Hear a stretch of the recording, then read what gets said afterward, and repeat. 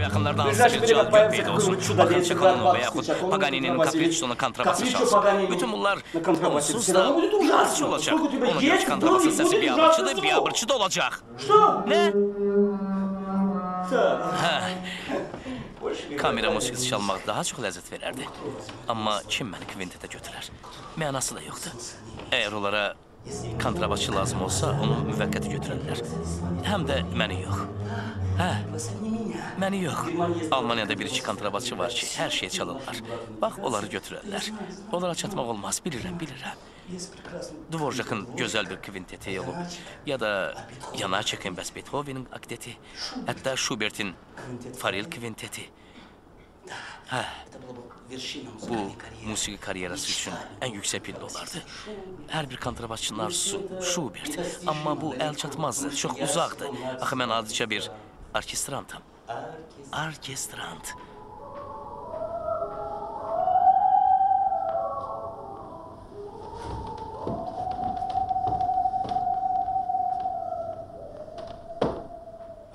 Orkestrant? Çünki mən yalnız tutti çalıram. Bu o deməkdir ki, mənim yerim üçüncü pultun arxasıdır. Çünki orkestr həqiqətən hierarxik strukturdur. Bir növ insan cəmiyyət şeyinidir. Hamının başında baş dirijor durur. Baş dirijor, baş dirijor, baş dirijor. Sonra birinci skripka gəlir. Sonra birinci, ikinci skripka. Sonra ikinci, birinci skripka. Потом вся Sonra остальные yerdə первые, qalan вторые birinci, скрипки, ikinci альты, skripkalar, violonчель, alplar, фаготы, violonçellər, гобой, fleytlar, кларнет, qavurlar, медные klarnetlər, духовые, fagotlar, в самом mis конце. nəfəslər, ən axırda isə Ну, ты дядушка, давай. bağışlayın. Вот Подождите, да? Bir dakika. İcazı verin. Ben kesmeliyim akı. Yol verin. Bağışlayın. Bir saniye. Görsün. Bak bile. Vesselam. Vesselam. En akırda ise kontrabas. Bizim arkamızda yalnız Litavrular yerleşir. Onlar da hemşe hündürde otururlar. Ama Litavrular özlerinin dört tonlarıyla hündür müzik aleti değil ama onlar için solo var. Yani zayıf. İkileşmeyeceğim ben pakıllık. Pakıllık bana yattı. Çünkü yazılmaydı. özüm neye layık olduğumu bilirəm. Məndə yalnız anadan gəlmə ədalətsizsi var. Musiqidə isə çox şey ədalətsizdir. Solist alqışlar yağdırırlar. Sürəkli alqışlar isə dirijora ünvanlandırılır. Dirijor ən azı iki dəfə kapelmeysterin əlini sıxır, bəzən bütün orkestr ayağa qaldırılır. Ayağa. Kontrabasçınınsa ayağa qalxmağa belə hal olmur. Bax ona görə deyirəm ki, kontrabasçı kimi siz ömrünüzün axırına qədər zibil parçası olaraq qalacaqsınız. Bax mən bununla təsdiq edirəm ki, orkestr insan cəmiyyətinin neydidir. O hətta insan cəmiyyətindən də pisdir.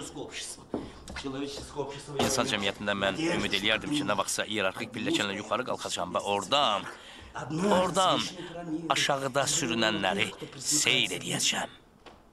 Kaş ümid olaydı. Orkestrdə ümidləmə boş şeydir. Burada ustalığın sərt hierarxiyası, istedadın dəhşətli hierarxiyası, təbiətlə birgə yaranmış titrəyişlərin tonlarının hierarxiyası hökmdardır. Əlbəttə, etirazlar olurdu. Axırıncı dəfə belə etirazlar təxminən 150 il bundan qabaq olmuşdu. Onda Weber mis nəfəsləri yaylılardan arxada iyiləşdirmişdi. Bu da böyük bir inqilaba səbəb oldu. Amma bizim üçün heç bir şey dəyişmədi. Biz hamıdan arxada otururuq, bu belə də qalacaq. Mən şikayətlənmirəm. Mən realistəm, şəraitə tabi olmağı bacarıram. Hə, mən şəraitə tabi olmağı bacarıram. Mən hətta bunun tərəfdarıyam. And içirəm, mən bunun tərəfdarıyam. Orkestran kimi mən kifayət qədər köhnəlik istişarıyam. Mənim üçün səliqə, nizam intizam, iyerarxiya, avtoritarizm, avtoritarizm və, və führerə ehtiyac kimi cəhətlər çox vacibdir.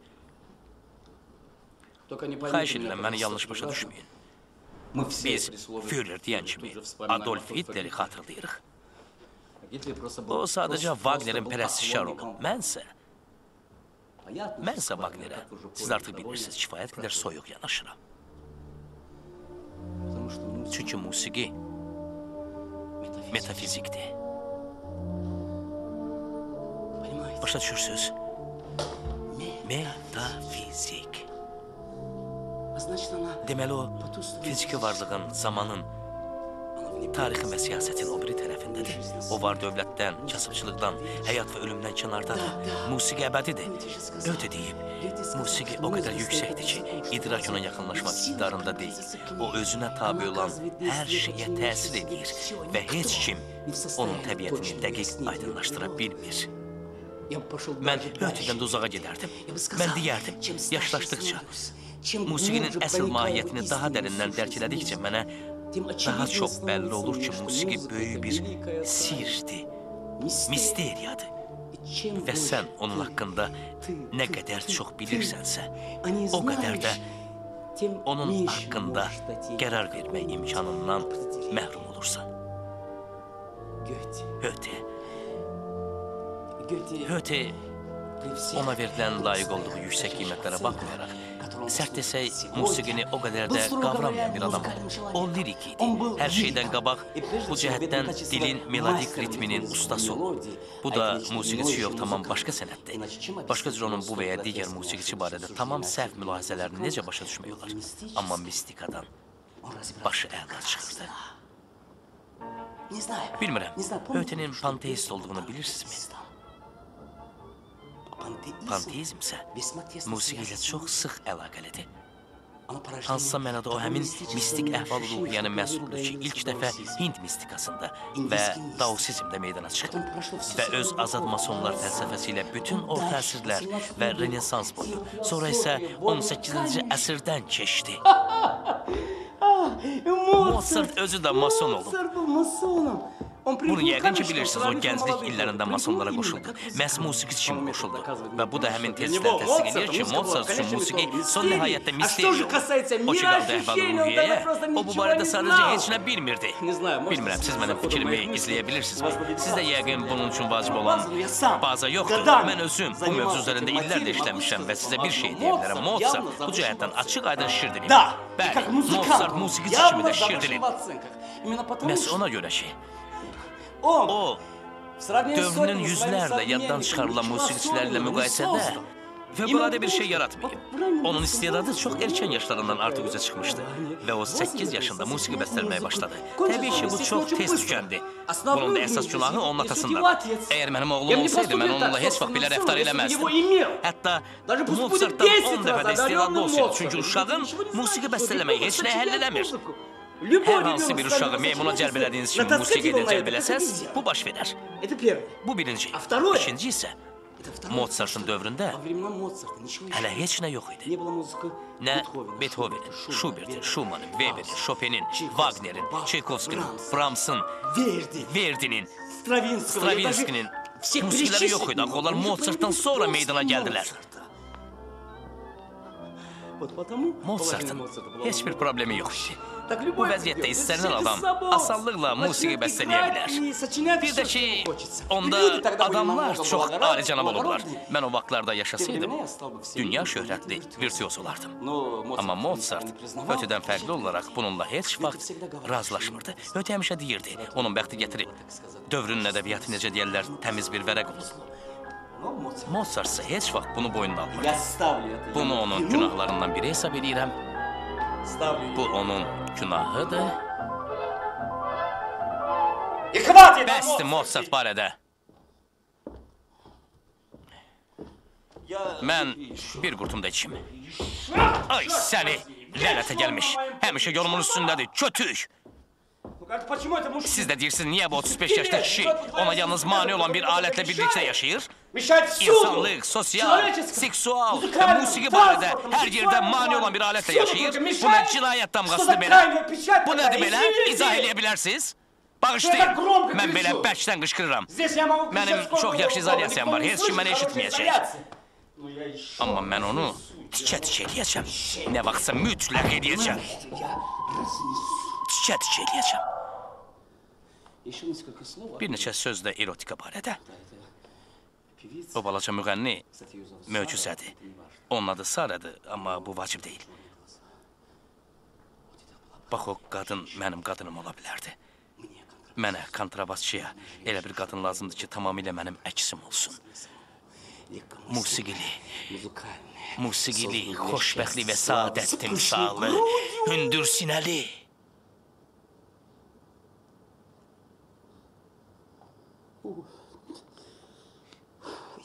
Bağışlayın, bağışlayın. Mən musiqi musiqi kitabxanasına baxdım. Yoxladım bizim ikimiz üçün bir şey varmı? Cəmi 2 ariya tapdım. Soprano və kontrabas üçün cəmi 2 ariya.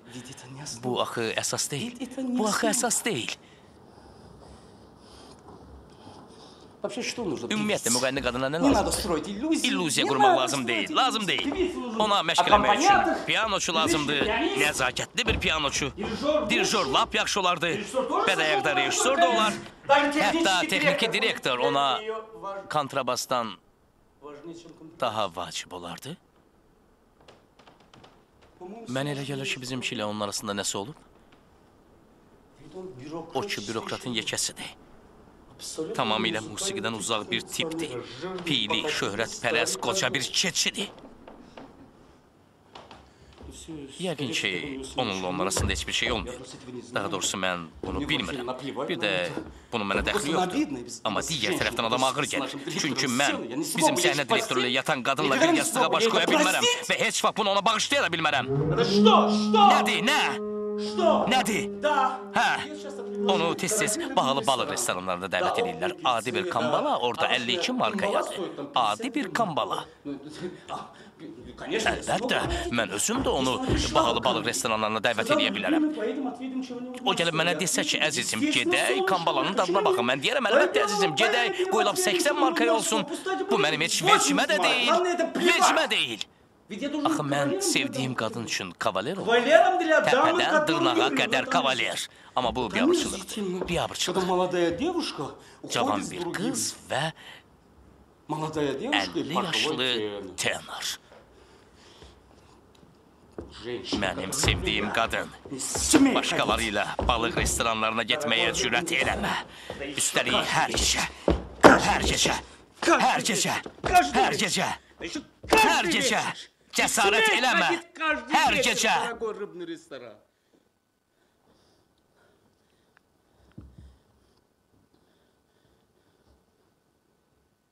Ну, она Düzdür, пока меня o не məni знает, tanımır. но мы еще не Hələ biz познакомились. tanış olmamışıq. Но это единственное, Amma bu что onu я təmizə знаю. çıxaran yeganə haldır. Eğer o beni tanısa, eğer o benimle tanış olsa, bu o kadar da inandırıcı değil ama bu onun için baha başa gelecek. Ben bunu indiden diyebilirim. Hatta yazılı surette de verebilirim. Çünkü, çünkü ben icazı vermem ki benim arvadım. Yalnız ona göre ki onun güzel sesi var. Ona baksa Darabella, Ayda, Butterfly okuyacak. Ben sadi bir kontrabasçıyam. Buna göre icazı vermem ki o bahalı balık restoranlarında sülensin.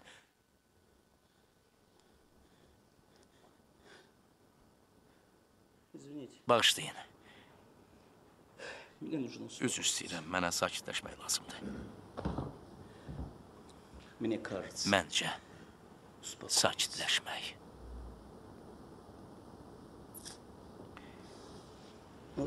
Siz inanırsınızmı ki,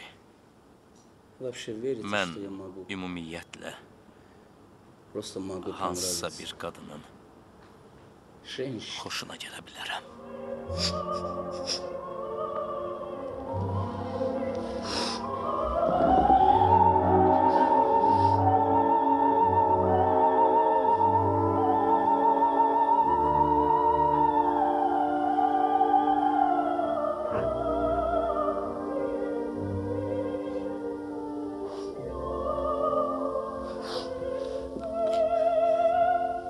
Знаете, Bilirsiniz, когда она поет, o oxuyanda, Mən onun sesini səsini eşidəndə mənim ürəyim sıxılır. Yüreğim yıkılır. Başka tür bunu ifade edebilmem. Oysa hansısa gelme senetkarla birlikte pahalı restoranlara yollanır. Deniz servetlerini yemeye. Bu vaksa onu seven kişi ses geçirmeyen menzilinde tek dana o baş bu başa gezir. Yalnız onun hakkında düşünür. Hemen kızın okuduğundan bir can otu belə çala bir avır çalışdan başka onun hiç neyi yoktu. Hiç neyi, hiç neyi yoktu. Bilirsiz mənə nə lazımdır? Mənə o qadın lazımdır ki,